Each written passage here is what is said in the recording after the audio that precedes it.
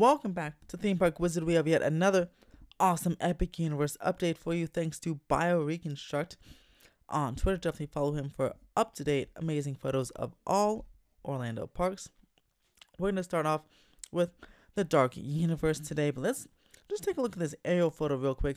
Look how much progress you've seen week to week, or every couple of weeks with these updates. Just so many things new uh, under construction, things are almost completed this is some great stuff Universal is really hauling butt on this project.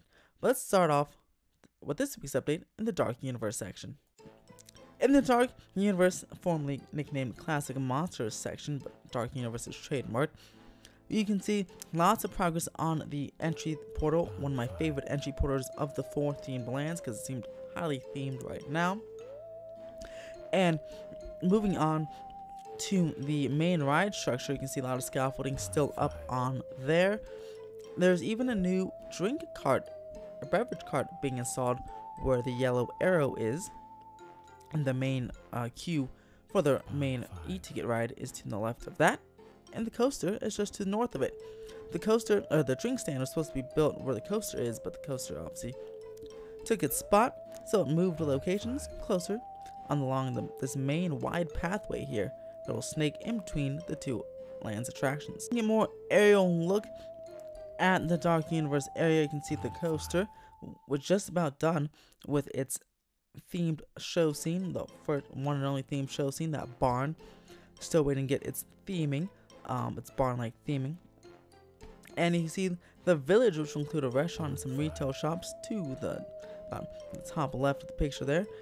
And the main e-ticket ride to the bottom as well as the the windmill restaurant which will be just to the south of the coaster right over there. Let's take a look close look at the windmill rumored windmill restaurant. You can see the steel beam for the windmill being installed right now and a lot of concrete walls. Rumor has they're gonna make kind of like a mound or like a mountain.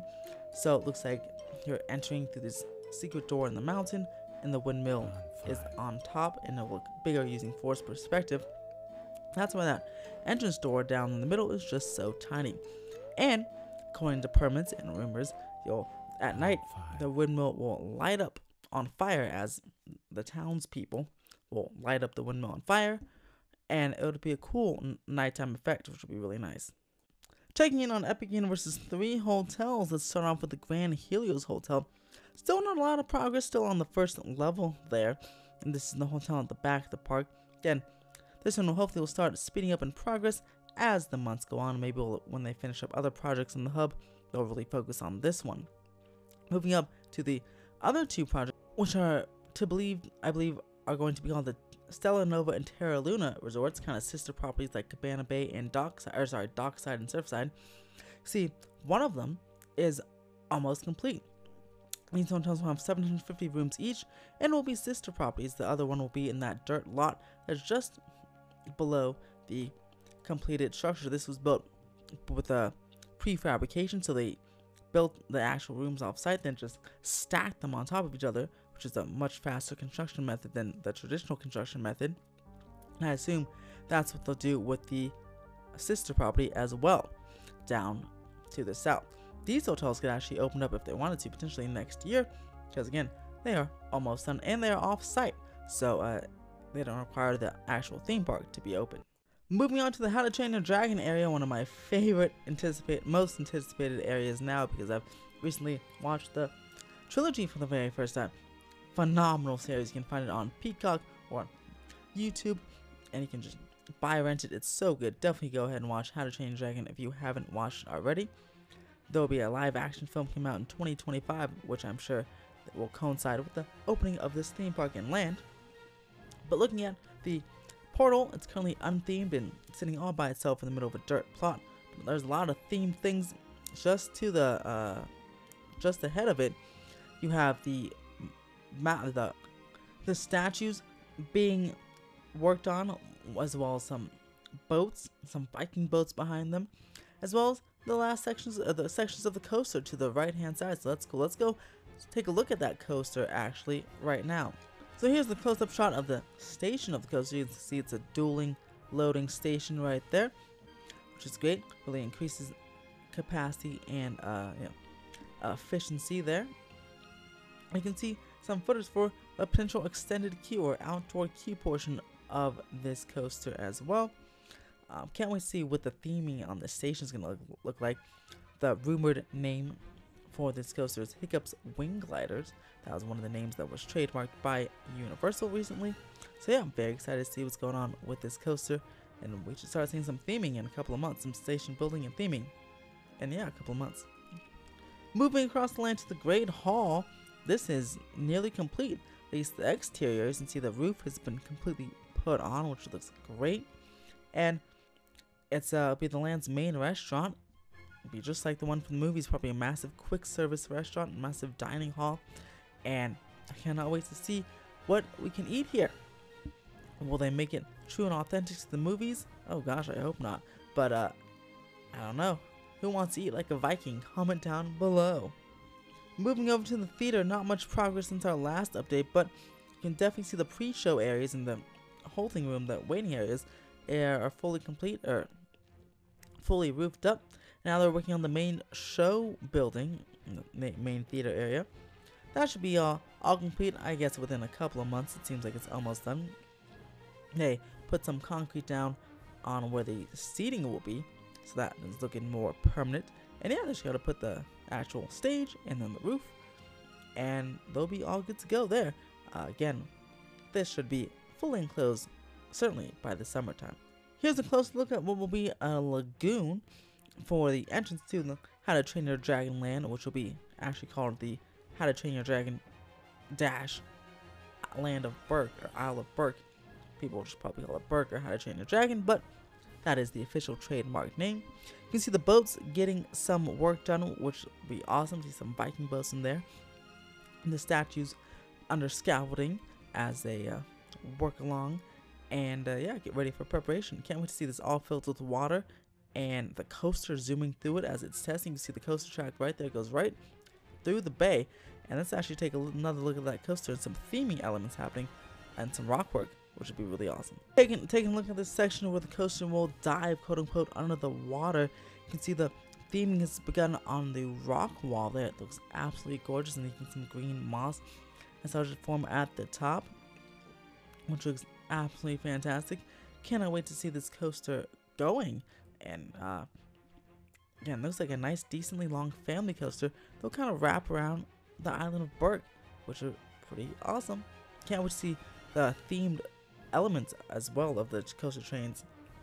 Hopefully, they're themed as dragons or as toothless. That ooh, a toothless, toothless themed coaster would be pretty awesome.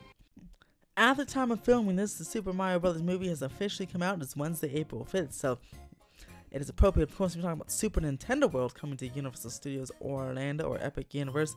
And yeah, this is certainly one of the most hotly anticipated lands because it'll be the full land and the biggest Super Nintendo World in the world.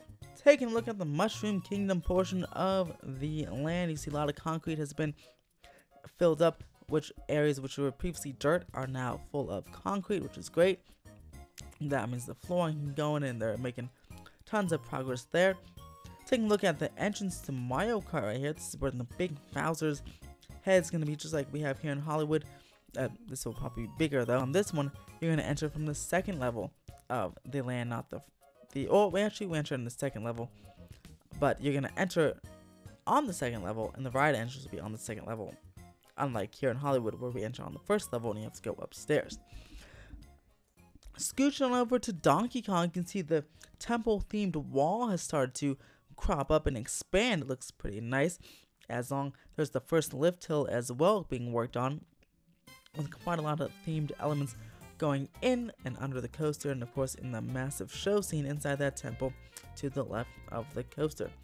Looking at Yoshi, you can see there's a door, not a door, but like a covering, where you exit the show scene um, coming out and finishing the Omni Mover portion of the track. Um, that will be uh, the lot the scaffolding will be removed, so the clearance will look much better than it is right now.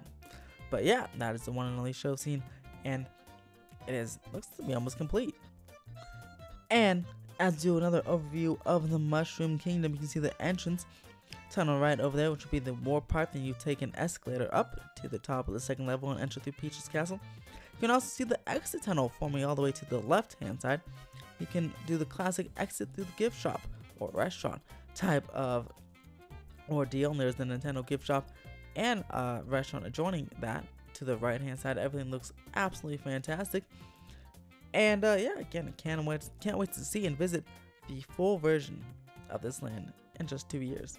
Quick Starfall Racers update. No more tracks have been placed, or at least not much from the last time that I can notice, but a few more supports have been placed for that massive um, double barrel roll type of element that Universal patented. And other than that, the coaster is looking absolutely fantastic, and yeah, just lots of supports. Can't wait to see it all uh, complete and more tracks to be installed, but not too much of an update this week. But we do have a lot, of big update from the hub ride, that water carousel. Universal trademarked a name called Constellation Carousel, and that is the rumor name of this flat ride here that is going to be under a glass dome in the hub. You can see the uh, supports and water jets are installed in and around the attraction, and concrete has been poured for the attraction as well. Universal filed a patent for this pinch ride system that looks like something uh, like what would be in a Mary Poppins attraction where the horses come off the track and come back on the track, which looks pretty interesting. Not sure if that's going to be used for this particular attraction, but if it is, that would be certainly a unique type of carousel. Lastly, moving on to the Wizarding World of Harry Potter. Not too much change on the outside here, as a lot of the a lot of it's inside show buildings, but just more theming, more scaffolding has moved along, and some more facades, some more steel for some more facades have popped up as well, and more facades have popped up on on the oh, more completed facades. Sorry, have popped up on the side of the building, in the show buildings. This confirms again, as many of you know, you'll be entering into the Paris Ministry of Magic using the Floo network to get into the Brit British Ministry of Magic doing the ride will be based on the Harry Potter films, while the land will be based in Fantastic on Fantastic Beasts. Should be a mega hit as always, and again looks absolutely gorgeous. The rumored second attraction was cancelled, but there will be a theater as well, so be the main e-ticket attraction and a theater, as well as some restaurant and retail shops. So that is it for this Epic Universe update. A lot of progress happening on all over the park, from the hub to Wizarding World to Isle of Berk, Super Nintendo World, and the Dark Universe. What is your most anticipated land? Are you excited for this park? What ride are you most what rumored ride are you most excited for?